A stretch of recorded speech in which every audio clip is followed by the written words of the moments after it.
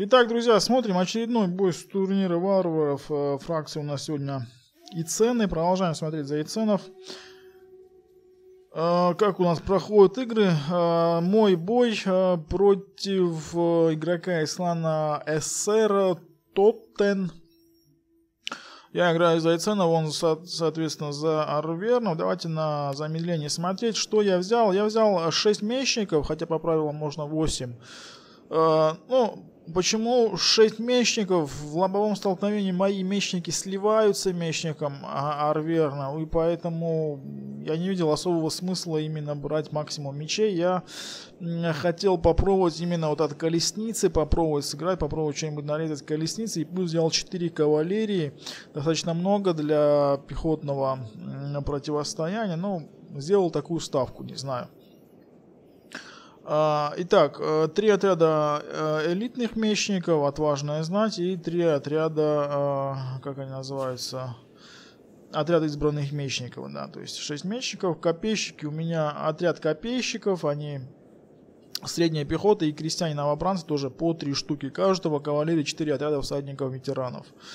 Ну и само собой у меня колесница, вот она, иценская. А, что взял Тутен? Из э, СССР, присягнувшие, присягнувшие э, избранные мечники, избранные мечники, избранные мечники. Видите, тот он тоже взял не 8 мечников, то есть у него получается вместе с генералом 3 присягнувших и 3 обычных мечника. То есть у нас получается по мечам 6 на 6 по кавалерии у меня перевес, у него два отряда тяжелых всадников, но его кавалерия, конечно же, более мощная, чем вот моя конница. Дальше по пехоте, э, по копейщикам у него очень хорошие копейщики, избранные копейщики, крутые ребята. Обычный копейщик, один на фланге и дальше по центру избранный копейщик, избранный копейщик, избранный копейщик, избранный копейщик и обычный копейщик. То есть по, по пехотной линии, если так брать, то получается у Тоттена перевес очень серьезный за счет, э, за счет наличия у него вот этих вот элитных э, избранных копейщиков с, э, с неплохим с неплохими показателями ближнего боя, 72 защита в ближнем бою, то есть мои копейщики здесь просто возьмут за щеку и даже не задумываются об этом, потому что, ну, просто элитнейшие копия у, у арвернов в этом бою. То есть у меня вообще никаких шансов нету в пехотной зарубе, и я здесь решаю попробовать сыграть э, тактикой, которая очень часто применяется в последнее время, называется на ножке Ассерора. Решаю попробовать создать себе локальный перевес на одном из участков фронта. И здесь мой противник совершает ошибку. Он выводит вперед, посмотрите, мечников. Вот раз, два, три, четыре. Мечники выдвинулись вперед без поддержки копейщиков. Вот эти элитные копейщики, они должны были заходить первым темпом, э, гасить натиск моей пехоты, вырубать моих копейщиков. И дальше, дальше вторым темпом должны были заходить элитные мечники э, уже Арверном. Но этого не делает мой а противник. Он выдвигает вперед своих мечников. Ну, я, собственно говоря, этим пользуюсь. И э, иду в столкновение э, пехоты на пехоту. И здесь выезжает моя колесница, тачаночка моя. Вот видите, она здесь каким-то, блин, построением в колонну. Не знаю, так получилось как-то неудобно был этот момент ее э, выстраивать как-то нормально, я спешил ее рюкзак. Кстати, забыл сказать про стрелков. Кельтские юноши, кстати, он взял все-таки, да. Кельтские юноши, вот один отряд копьеметателей, наверное, что-то предполагал увидеть у меня в составе здесь мой противник колесницу. Циклический натиск, как говорит э, э, Деви, вывожу из боя отряд избранных мечников, который под присягнувшими очень сильно просел, и завожу здесь отряд отважной знати. Колесница сделала уже 50 фрагов, она проехала один раз через присягнувшего и один раз через копейщика. Ну, лобовое столкновение, где-то оно мне здесь абсолютно выгодно. Здесь у меня локальный перевес, два в одного. Мои парни здесь убивают просто присягнувших. А мой противник абсолютно как-то на это вяло реагирует. Но это уже идет второй заход колесницы э, Иценская. Но она сделала всего лишь навсего, блин, 50 фрагов. Колесница Понта или Селевкидов, она сделала бы уже, я не знаю, по 200 фрагов за два захода. Э, стоит у меня фланг, мне особого смысла его нет, э, как-то двигать туда-сюда. Э, отважная знать, плюс отряд избранных мечников против двух отрядов а, избранных мечников, они здесь, конечно же, перерубят. Арвернов я могу здесь позволить себе расслабиться и особо сильно не, не париться, и, собственно говоря, этим я и занимаюсь идет на второй натиск отряд избранных мечников, но он очень сильно просел, судя по всему. Попал он как-то под этих самых пельтастеров или под натиск присягнувших, но просел он очень сильно. Тыловые натиски здесь э, моей кавалерии по копейщикам.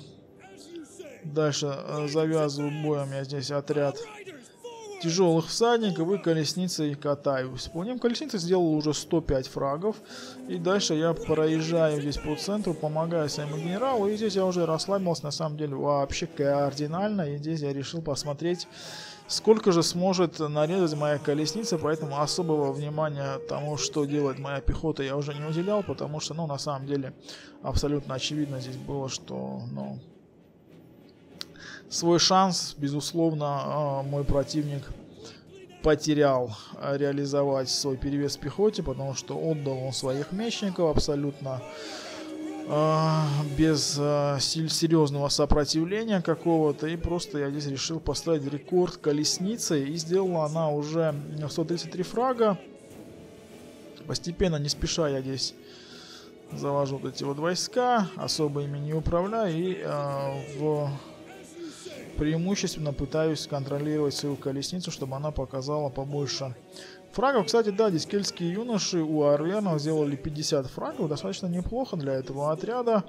Один заход колесницы в тыл, и дальше я ее вывожу, она еще даже не успела прорваться через строй. Я ее уже вывел.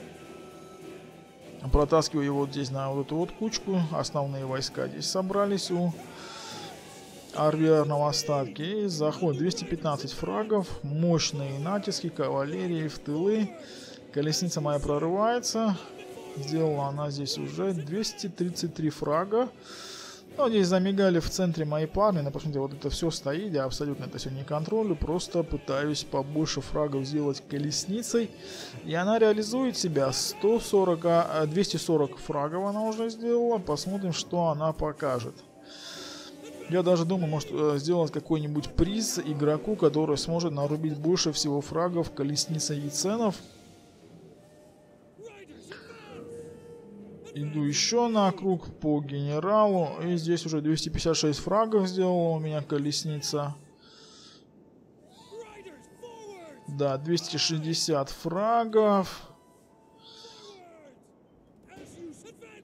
270. Интересно, смогу я побить цифру 300 фрагов? Нет, не смог.